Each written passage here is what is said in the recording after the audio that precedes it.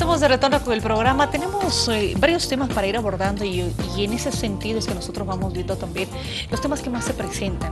Y usted recuerda que se ha inaugurado ya la oficina ah, de la División de Cibercrimen empieza a atender este tipo de delitos porque conforme avanza la tecnología también existen otro tipo de, situaciones complicadas, vulneraciones y, denuncias que se han ido presentando. A partir de ello se tiene esta división. Estamos hoy con el jefe de división de la oficina de Cibercrimen, el capitán de Chambi, que nos acompaña hoy en los estudios eh, y queremos conocer pues cuáles son los avances, qué tipo de casos, qué tipo de denuncias. Además, eso se está vinculando, tengo entendido, a otra forma directa de poder comunicarse con las personas. Capitán, bienvenido, es un gusto.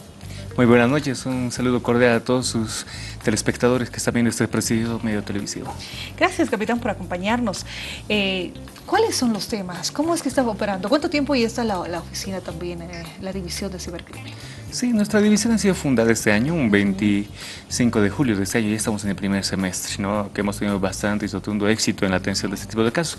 Como usted ya bien lo decía, el delito, al igual que va a la par con la tecnología, ¿no se va modernizando y va buscando nuevos medios tecnológicos por el cual puede captar a las víctimas y de ese modo poder, de cierto modo, apropiarse de montos de dinero, si no es así, de obtener contraseñas y a través de eso poder eh, extorsionar a las personas mediante fotografía o pidiéndoles algún monto económico, creando la zozobra, el miedo, el temor con las fotografías que uno puede eh, publicar en sus redes sociales.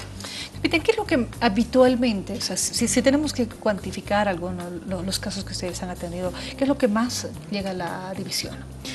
Eh, bueno, hasta el momento, desde que hemos creado la división, hemos atendido infinidad de casos, entre ellos delitos de, vinculados con la estafa, delitos vinculados con, vinculados con el sexting, delitos vinculados eh, con, el, con las estafas virtuales. Lo que hasta el momento podemos decir, tenemos nuestro porcentaje de casos atendidos y decepción de denuncias es en cuanto a la atención de delitos sobre las maletas, estafas a través de las maletas, que hoy en día, de nuevo, no obstante, con, tras el... Eh, la, publicación que hemos hecho de este tipo de estafas para que la gente no pueda caer y no sea víctima, nuevamente, otra vez está tomando gran fuerza. Estamos teniendo tres denuncias por día básicamente de las personas que han sido estafadas a través de mensajes, eh, a través del WhatsApp de personas que supuestamente parientes están llegando del exterior y están trayendo entre sus maletas eh, celulares, tablets, computadoras bueno, cosas que son falsas, pero sí llegan a, creer, llegan a crear esa confianza en esa persona para que ésta pueda hacer un depósito, ya que esta supuesta maleta ha sido detenida en el aeropuerto, generalmente lo dicen que está en Virubiru, que es la que hace conexiones internacionales con diferentes países. Y es a través de ese modo que logran obtener montos económicos. Ese ha sido el mayor porcentaje de casos y denuncias que hemos tenido. No obstante, también hemos tenido denuncias sobre eh, difamación y calumnias. Pero este tipo de denuncias, más que todo, eh, no son delitos de acción pública. La División Cibercrimen, como cualquier otra división de la FCC, atiende delitos de acción pública, que nos permite poder seguir incluso de oficio los casos. Pero el delito de, difamación y calumnia se le siguen por una orden privada. Se necesita que ir directamente a un juez de sentencia, mediante el cual también la misma puede coordinar con nosotros mediante órdenes judiciales para que nosotros podamos de una manera técnica poder esclarecer, ayudar en la identificación de las personas que están realizando esas difamaciones.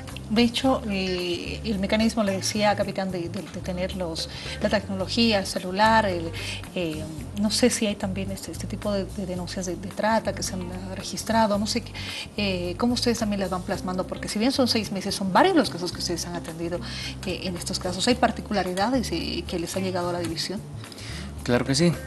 Eh, los delitos de trata, como ustedes lo pueden percibir, son delitos muy delicados, ¿no es cierto?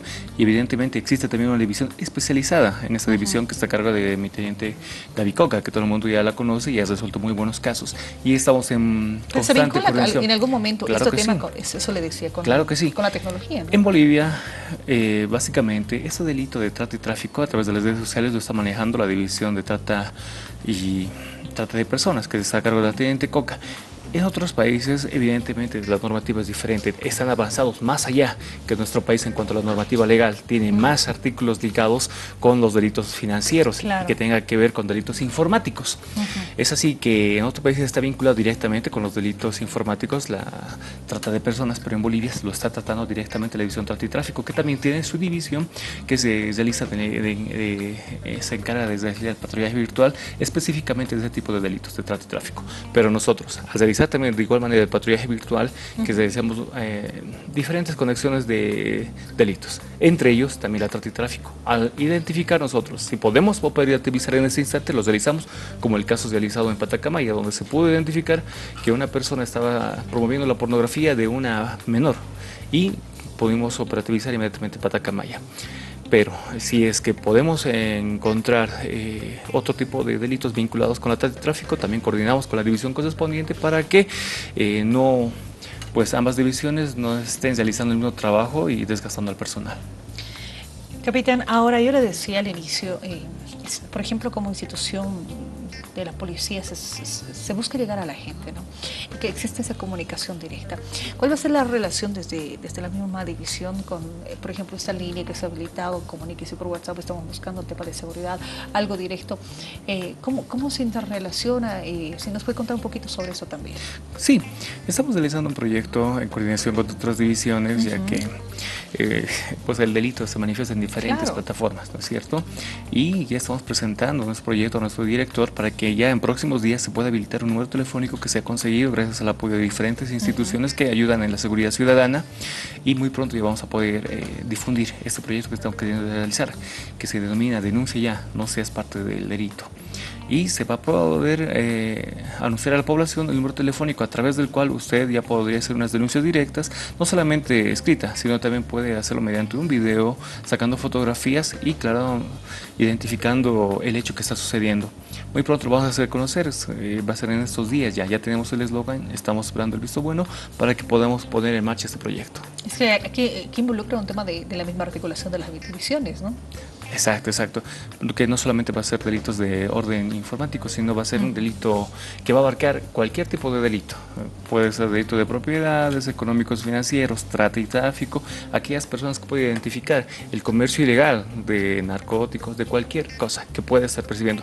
Nosotros vamos a recibir la ayuda de las personas que están percibiendo en el momento real un hecho que se esté cometiendo y de ese modo nosotros podemos actuar evitando los... Eh, los canales en que vayan y denuncien a la FCC y se direccionen a la división.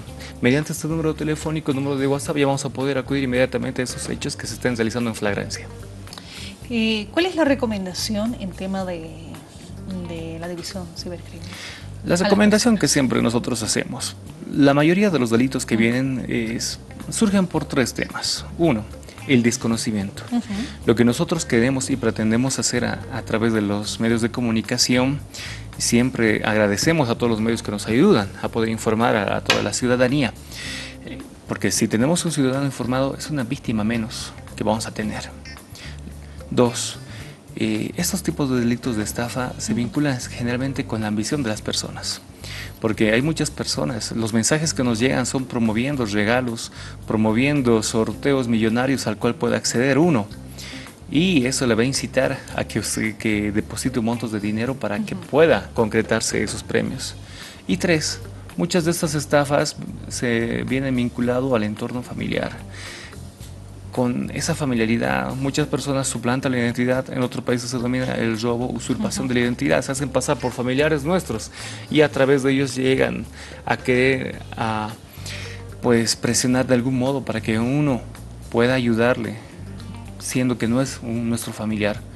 La recomendación siempre a la población, no acceda a mensajes eh, pues que son fraudulentos, ¿no? que le llegan de por sí a su mensaje por WhatsApp, por Facebook, por cualquier tipo de red social, hasta por correo electrónico, incluso llega este tipo de estafas y fraudes.